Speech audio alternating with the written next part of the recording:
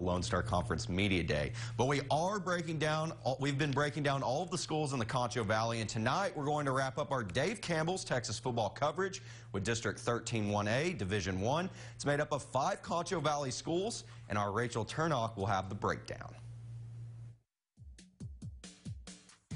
We start with the defending district champs, the Eden Bulldogs, finishing 2018 6-4 overall and with an undefeated district record under the direction of new head coach Shay Avance, who's very familiar with the district, coming from Robert Lee.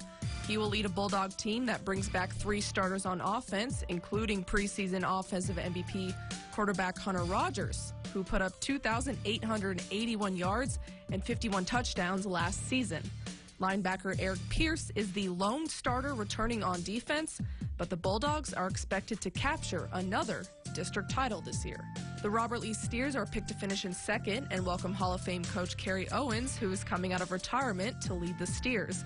Dave Campbell's named Casey Skipworth the preseason defensive MVP, and Robert Lee hopes to make a run at Eden and advance past the bi-district round of the playoffs for the first time since 2012. Picked to finish third in the district, the Veribest Falcons, who will be a very young team this year with just two starters coming back. New head coach Howard McDaniel will lead the Falcons this season, and one player to watch out for is running back and linebacker Philip Emerson. The Bronte Longhorns dropped down to six man last season and finished four and six and fourth in the district, where Dave Campbell's predicts them to finish again this year. And only two starters return for the Longhorns, as they'll be chomping at the bit to improve on last year's season.